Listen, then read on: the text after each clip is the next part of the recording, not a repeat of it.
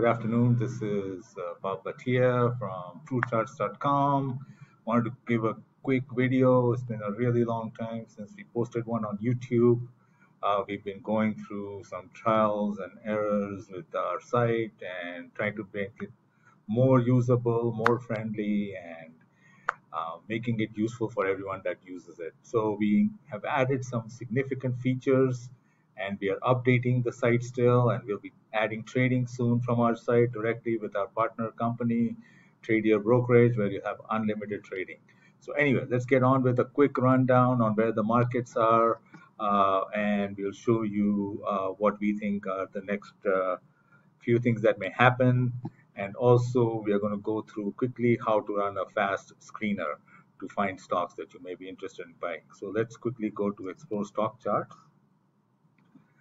So as you can see here, we've done some updates on the UI look. Uh, looks a lot better. Uh, the charts are uh, have added more features. Uh, and also we have additional fundamental information that we've added. And this all comes to us from Tradier Brokers. They've been very kind to us and uh, giving us the accessibility to their APIs to use this for the data feed. Uh, as you can see here, we are looking at Facebook stock. So let's just quickly go over the markets. What have the markets been doing? Well, we had this huge, as you can see, this pullback during the March swoon. Uh, you know, there's huge drop you can see here. And then you have this huge move up. And this is the diamonds, which is the ETF for the Dow Jones. And you can see it had uh, what everybody was concerned about was this island reversal where you have this gap up and then you have a gap down and the market is sort of consolidating. We think it's a tough call here, uh, primarily because we suspect there's a lot of money printing being going on from the Fed. You know, printed about three trillion dollars in a span of two months. That tells us that money is definitely going into the markets, and uh, that's where we are seeing this huge moves up in many, many stocks. I'll just give you a few examples. Uh, Spotify, you know, we had picked it long time ago at about 140 uh, today it touched 250. We think it's a short here. Uh, then Shopify, we really missed this one. Uh, really disappointing. We missed this one. Um, very huge, big move. You can see here, beautiful turn. And let me just show you quickly.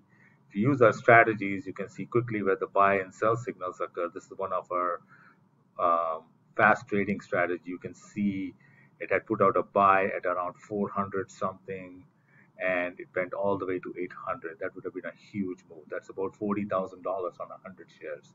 Just think about that for a second. The other stock I want to talk about quickly is Adobe and you can see that also made a huge move. You can see where the buy was put out about 300 look at where the stock is 440 huge move here and then obviously everybody's favorites Apple and we'll and we'll show how you know, where we put out a buy signal on this stock. And you can see what a beautiful buy signal at around 265. Stock is at 365, a $100 move, uh, and no sells yet. Okay. So that tells us that our strategies are working. So I highly recommend that people use this.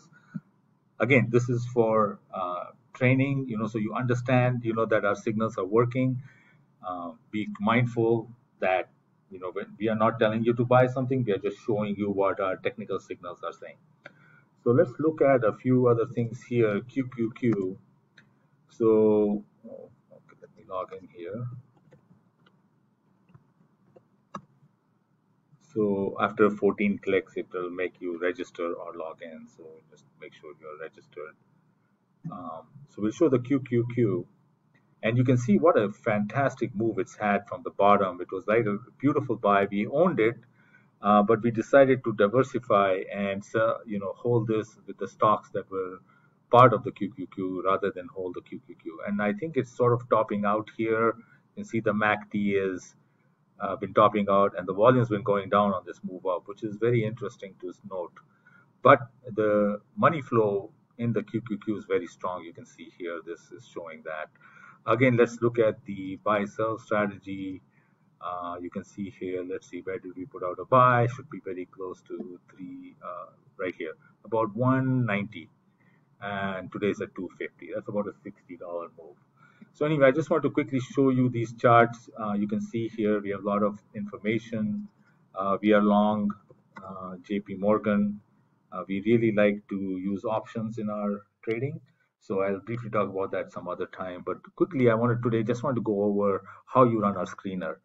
So you can see here, there's two screeners we have. One is a single dynamic scan, and then we have multiple dynamic scan. We'll just today go over single dynamic scans and how it works.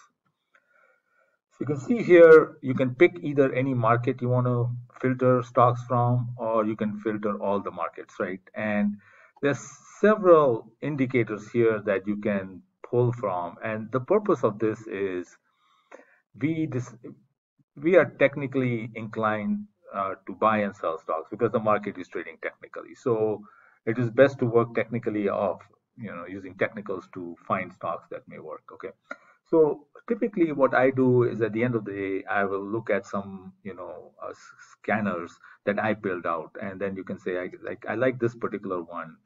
I'll tell it, hey, you find me all stocks that move by one dollar, were up by one dollar, and have minimum volume of one million shares. Okay, and I'll say start the scan it runs, you can see, very, very fast, and it gives me a quick list. Now, this is obviously from the day before because the market's not closed yet, our database is not updated. So you can run this end of the day and you can sort it by basically the volume and you can put like it said it found 253 stocks that moved above one dollar so it can be two five ten fifteen whatever but minimum volume was 1 million shares probably what i'll do is i'll just pick the top 100 and say go and the best thing about our site is basically you don't have to go click every chart. You can see the percentage changes, you can see the volume, you can see the open, high, close, and you can filter by the price also. So you can filter by any one of these fields here. You can filter by change, exchange, any of these. So I, I typically filter by volume because that's how I like to look at things. So let's just say I want to quickly, this is the most amazing feature. You can just quickly mouse over the chart and you can see it.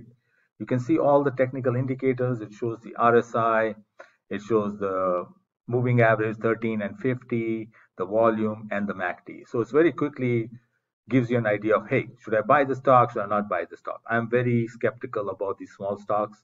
I don't trade in them. I don't like them. Very simple. It's, it's for people who want to lose money. So I just stay away from them as much as possible. Uh, and if you're if you're a risky type of person and willing to risk five thousand dollars and don't care about it, hey, that's okay, no problem. But let's look at the SPY here. You know, it said it was up a buck 43 yesterday. You can see it's looking like it's trying to top out. And so you can quickly go through these charts and find things that may work for you. And you can say, hey, you know, this looks pretty good. I might be interested in buying. So a stock I picked uh, recently was um, you can see this clock did very well. Uh, we had picked work uh, Slack, so you can see the chart here. It was up, uh, was showing negative today because collecting using today's data, but the report is from end of day yesterday. Uh, so I picked a stock. Uh, let's see here, Pro, Peloton. So I had picked it and I bought it as soon as it broke out and went up and I closed my position when it touched this morning 55 and a half 56 range. So you can quickly click on this and you can save it to your favorites. You can say hey add to my favorites. You can see I have so many lists. You can just create a quick list. My stocks or something um 0623 create a watch list for you and to save it now you can say you see you can say watch list added six successfully and you can quickly so show my favorites. And you can click on the latest one which was my stock 623 sorry. Let's look here. My stock 623 and bingo Peloton is there. So on that date it shows you uh, Pro Peloton was picked in your list and you can delete it. No big deal. It's gone from the list.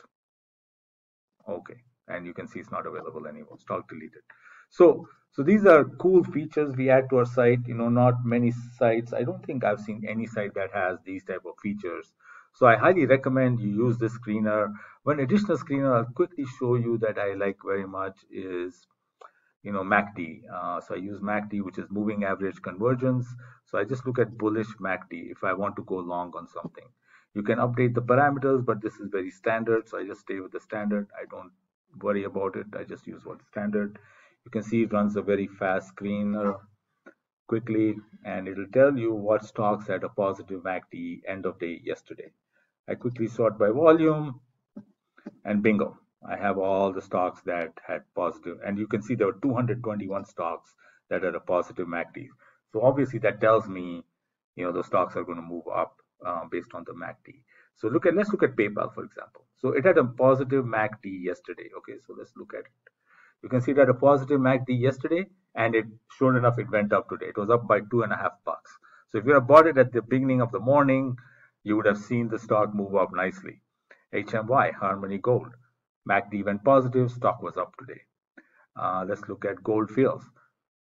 MACD went positive, stock was up today. So this is a very, very good report to run end of day uh, as a screener just to find some maybe cheap stocks if you're interested. This stock did not move up. See, it moved down. So that tells you, you know, sometimes you have to be careful uh, by looking at the RSI and things like that. Let's look at GFI RSI. You can see the RSI was below 80 or 70, so the stock kept moving up. The trend was up, so that's why everything moved up, and the volume was very good too. So just folks, hey, try this out. We highly recommend it. We are working on a lot of things and a lot of improvements still on our site. Uh, we made some changes and improved this quite a bit. Um, you can also click on the chart here and to take you to the stock charts page and give you all the fundamentals. And then you can also play with the technicals. You can see we had a buy recommendation around here. Stock moved nicely from about seven something to nine bucks. Huge move, thousand shares, you would have made about thousand five hundred dollars. A very, very nice move. And we give you also what the company does and real-time news. Anyway, that's all I had folks. And let me know if you have any questions. You can email me at truechartscom at gmail.com. Thank you.